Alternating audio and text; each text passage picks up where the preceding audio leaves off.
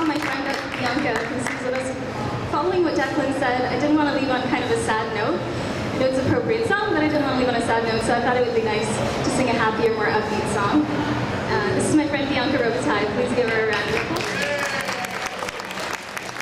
Actually, I wanted to make a suggestion. Next time we say